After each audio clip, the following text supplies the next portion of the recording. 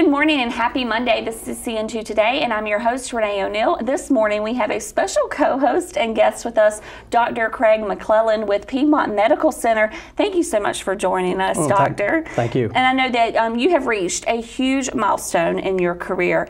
Eight, your 800th surgery you just performed recently, correct? Well, it's my 800th, it's not my 800th surgery, Yeah. but my 800th single incision hysterectomy. Wow, that is a lot of those. So we're going to get to that in just a Sure. minute to tell, um, you know, just your journey with that. But first, we want to get to know you. So, where are you from, and how did you get involved in OBGYN? Uh, well, I'm originally from Princeton, New Jersey. Uh, I was born and raised there. I went to school at Princeton University, finished medical school at UVA, and did my residency at Duke. I then went into the Army and was an OBGYN there for four years. Um, then I came to Rock Hill, and I've been here since uh, 2000. I went into OBGYN because I like taking care of women. Okay. Um, I get along with women. Uh, I love delivering babies. I like doing surgery, but I don't need to be doing it every day. and I like to follow people throughout their lifetime. Yeah, and you get to see children when they're born and Mm-hmm. as they grow up and their um, their mothers and everything. So, and you have a family as well. I do. Uh, my wife Penny and I have been married for 25 years. Okay. And I have three children, beautiful children. Patton, my oldest, is 22. Uh, Megan, my middle daughter, is 20. And my youngest son, Luke, is 18. Okay, now you see when you hear 800 and of course even more and all that you do, you think you don't have time for anything else. I mean, I do. I'm like, that is a lot of stuff. That is a lot of work. So, what do you do for fun? Oh, I was afraid you were going to ask that. um, believe it or not, my work is my fun. I really get a kick out of it, so I do spend a lot of time at work, as most OBGYNs do. But when I'm not working, I love spending time with my family. My kids are all into athletics, and so I go and watch my daughter, who's a gymnast at University of Maryland. We travel up there to watch her do gymnastics. My son is a tennis player. Both my sons are tennis players. Oh, okay. And I like to exercise. I like to read. I like to play the guitar. Okay, all right. So more than just surgeries. A little more, not much, but a little. All right. Well, let's talk about um, that huge milestone. So explain what this surgery is. You know, I know for women it can be it can be pretty scary. Sure. Talk about that a little bit. Well, um, it's just one way to perform a hysterectomy. Uh, the way we perform it is through, it's called SILS or single incision laparoscopic surgery, as opposed to traditional laparoscopic surgery or robotic laparoscopic surgery, which use multiple incisions, small incisions, uh, to perform the procedure. Uh, we use just one small incision buried in the belly button, so when it heals, you really can't see it. Um, and the advantages that I've found are that people have significantly less pain. Uh, they seem to recover a lot faster. Uh, the complication rate is extremely low. I mean, I can count on one hand a number of complications and not even major complications we've had uh, doing these procedures. Um, so, and then and they bounce back very quickly. The routine recovery for open hysterectomies is six to eight weeks. Vaginal Wow. hysterectomies can be anywhere from three to four weeks, and laparoscopic hysterectomies are usually around two to three weeks. We usually get people back to work within one to two weeks. That's pretty amazing. Now, everybody's different, but uh, it's the quick recovery time. People are always sitting there, I have kids, I don't have time. Uh-huh. Uh, you know, maybe later once the kids get into school or something, and uh, if you have a week and you, and I'm not even being out of commission for a week, I mean, you're out of commission for about two or three days, and normally you can drive. Um, and you're only taking pain medicine, narcotics for the day of surgery.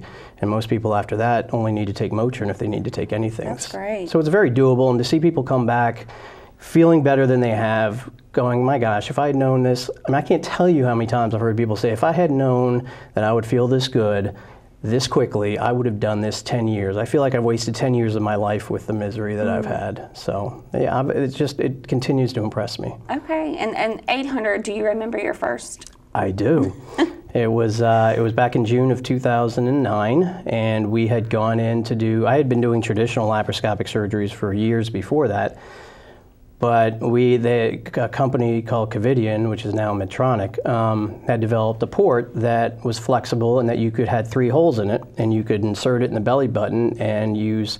We use, unlike traditional laparoscopic and robotics, we use a flexible camera. Okay. Typically, people, when they're doing laparoscopic surgery, have one tube and they're just looking straight down the tube. Well, our tube is flexible. You can look up, you can look down, you can look left, you can look at right.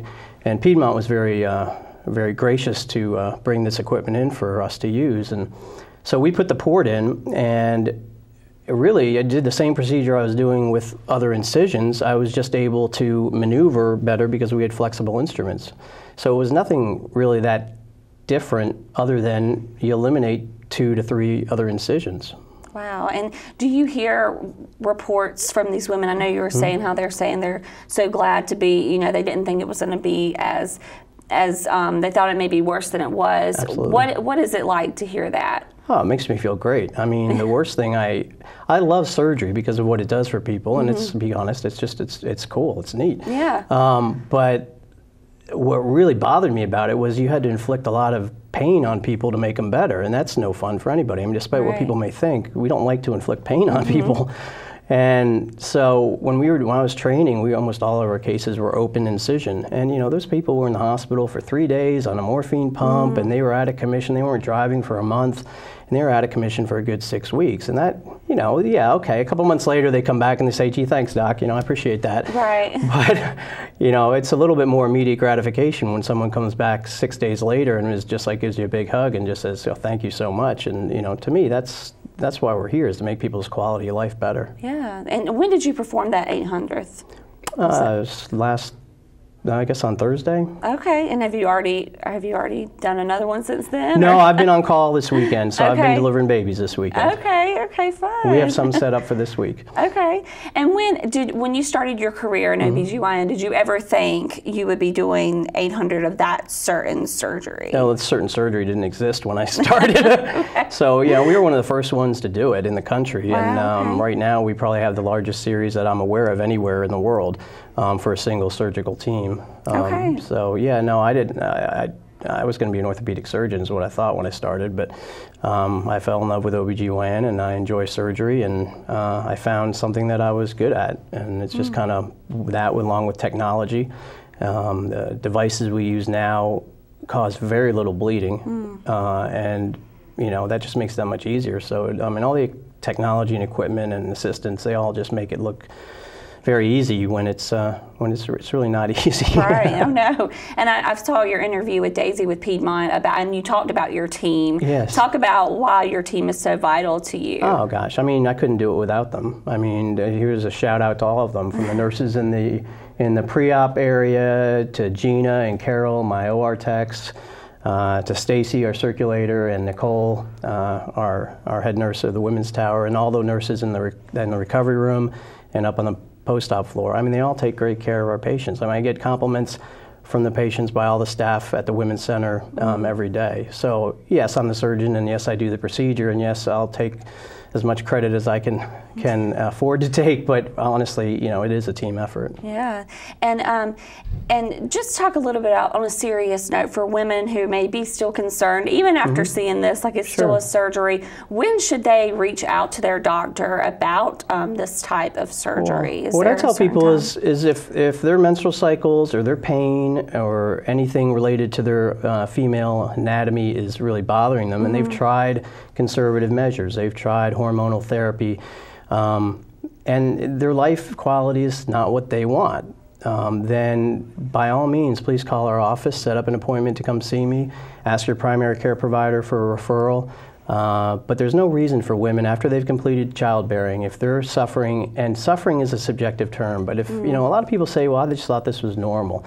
Well, normal can be normal and it can still be miserable. Right. Um, if we can do something to improve the quality of someone's life with minimal downtime and rapid recovery, then by all means just call our office, uh, ask for an appointment, and okay. um, we'll take it from there. And you and you may have mentioned this, we want to get out there. You're at the Rock Hill OBGYN location and Fort Mill, correct? Yes, we have an office in Fort Mill, okay. and uh, we get a lot of patients down from Charlotte. I've had patients come from other states for this procedure. Wow. So um, please feel free to come and get a second opinion if your doctor says, well, you know, you've had three C-sections and we really just need to cut you open because that's going to be the safest thing for you. Mm.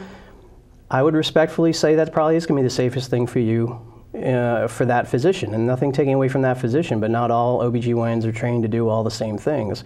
So seek a second opinion. You know, your health's too important, and um, right. we'd love to see you. Okay. Well, thank you. This has very been very interesting. I really appreciate you, doctor, coming in well, today, even after working and, uh, uh, the hospital yeah, all weekend. anything people can do to get the word out. I would love for five years from now to this to be the standard of care. But right Yeah. now, for good or for bad, Piedmont is leading the way, and um, and we I have them to thank for being so supportive of our program. That's awesome. And right here in our hometown. So great. Yes, Thanks again, Doctor. well, you. after this, we will be back with the news of the day.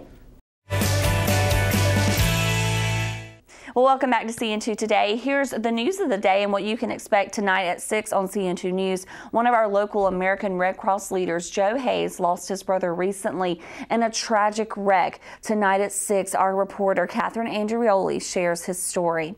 Also, Republican candidate for governor, Catherine Templeton, is in town. We will have that and much more again starting at 6 on CN2 News.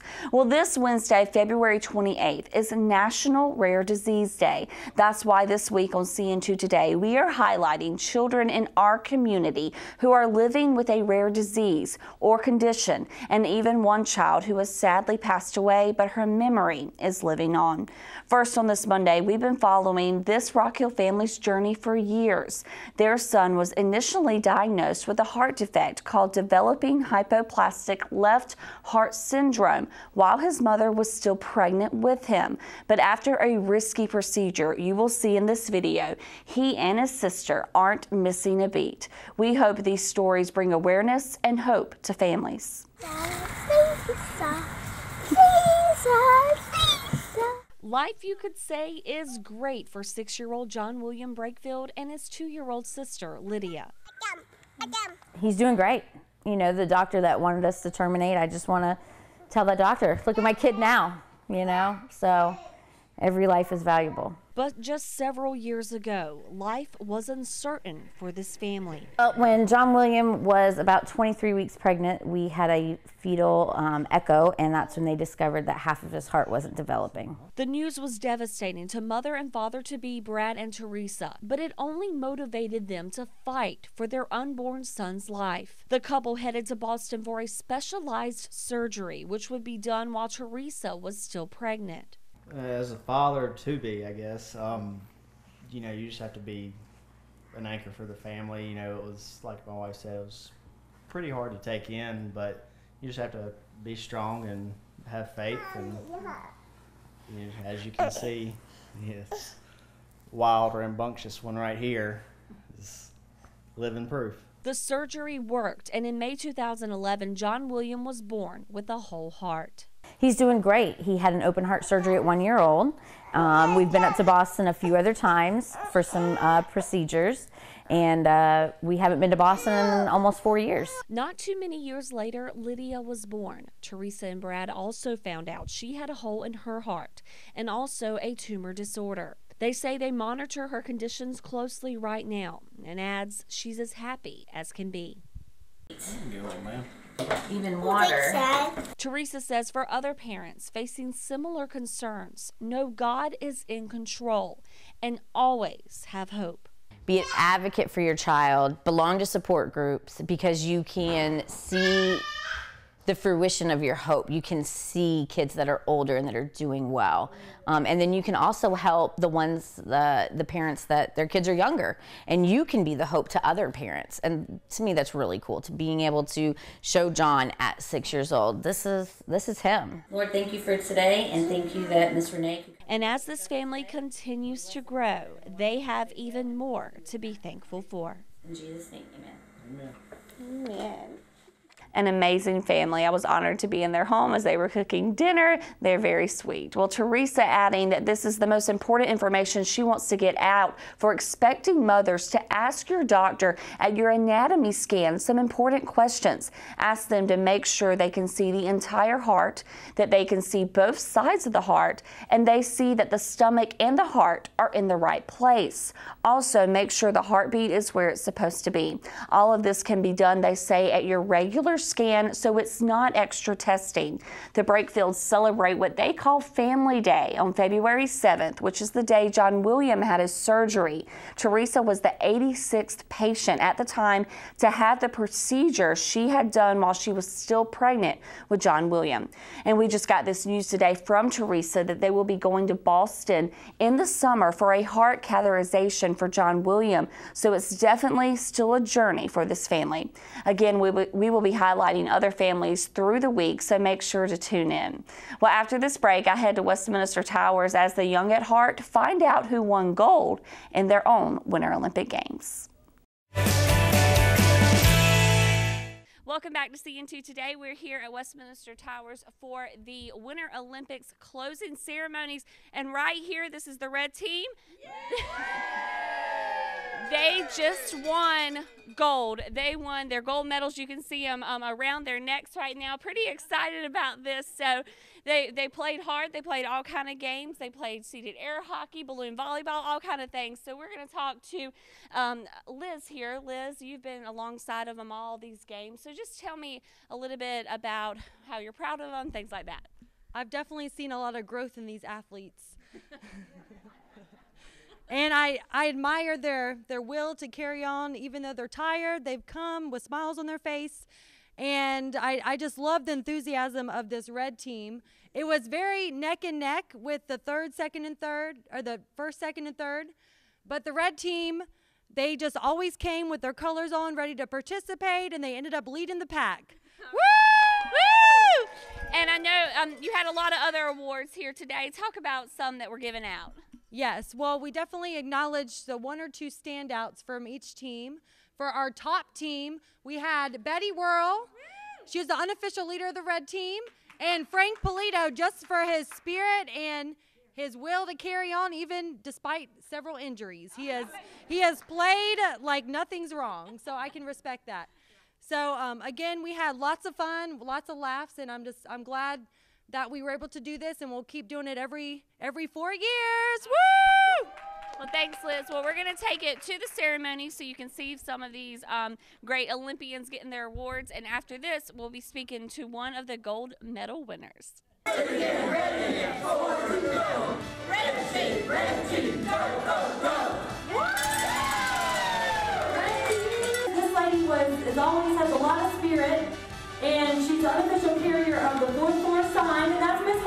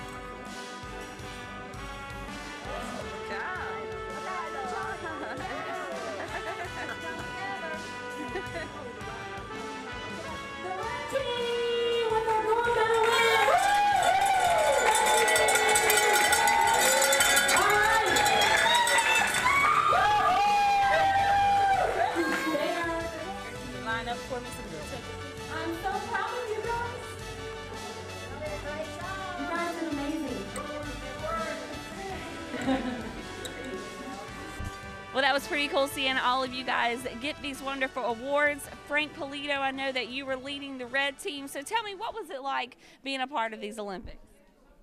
It was really, I got into the spirit of it.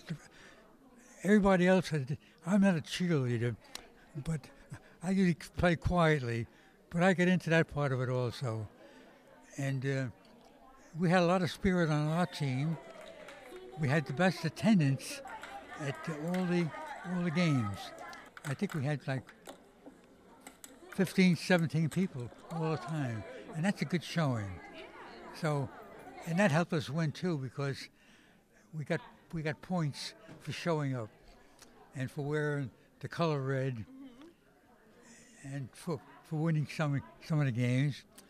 We won a couple of good games. We got gold stars for, I think they call it gold stars. Yeah, go, yeah. yeah, yeah, and. Uh, What was your favorite game? Well, my favorite game when I started was balloon volleyball, Okay. and uh, that's a good game. And you, but I played a game called broom hockey. Never heard of it. Never did it before. It's where you sit down, and they got a um, a ball or something that you sweep down the hole, and you get into the goal post. And my my claim to fame in that game is that it- we had to make three goals, and I got all three goals. But my biggest fame is I I got wounded Oh my goodness, you got wounded in the games. sitting down. well, I'm glad you're okay. Yeah, with the, on the arm there. Oh goodness. And I, Those are battle scars. yeah, I rubbed my my arm against the arm, Oh good. and it peeled the skin back. Oh. But anyway, it's pretty well healed now. Thank you so much for talking to me. I really appreciate it. And congratulations on those gold medals. And we'll be back with more CN2 today. Next, we're going to be at talking about beautiful art by some of our local Rock Hill students. Welcome back to CN2 News. We're here in Old Town Rock Hill in the Center of the Arts, and here we have Melanie Cooper with the Art Council, Arts Council of York County. Melanie, thanks for letting us come in today. Oh, thanks for having me. Yeah, so I know you guys, um, these beautiful, this beautiful artwork we have behind us here, Mm-hmm. and all throughout the studio, throughout the gallery, is from students in It the is. Rock Hill School District. That's right. So tell me about that. So we've been doing the Teacher's Choice exhibition for at least nine years now. We've been involved with school art pro- programs here in York County for many, many more years. I was talking to my executive director and she said, I remember doing shows down at the Gettys Art Center with all of this. So what you see on display is in the Dalton Gallery, high school artwork. It's from all three high schools here in Rock Hill. There are 83 pieces. They are juried. We have Scott Hoffman this year. He's with, um, he's actually retired, but he was with the state and he developed all sorts of art curriculums for the state and nationwide as well. He came in and determined his best of show and then best of each different medium. So Okay. your drawing, your painting, your 3D, your sculpture, things like that. He juried every single one. And then he also juried the middle school show, which is on exhibit in the Perimeter Gallery, which is in the second part of our, our building. And in the middle schools, he juried all the same categories. Uh, all of the schools here in Rock Hill, all of the middle schools are participating. And so we'll be announcing the awards at the reception on March 8th. Okay. And then we also have elementary school kids' work on display in the, Ed, uh, the Edmund Lewandowski Classroom Gallery. And so you'll see, I believe it's 16 different elementary schools this time okay. Who have artwork on display, and it's kids uh, exploring their creative side. Okay, and um, how, when, how long will this be here? It started February 16th. It right? did, and it will be on display through March 16th. Okay, Mm-hmm. but March 8th is when pe- when it's going to be judged when people have winners. Correct. Okay. March 8th is our reception. Okay. It's free. It's open to the public. It starts at 5:30 p.m. and it's really just a great time to come and meet the artists. It's a great time to see the artwork and just a good night out to be quite honest. Okay, and um, why is it so important that students get involved in art? I mean, these are these are pretty powerful pieces. They're amazing. A lot of these students do not pursue art as a career, but when uh, colleges are looking at well rounded students, they are looking for their involvement in the arts and in their creative side.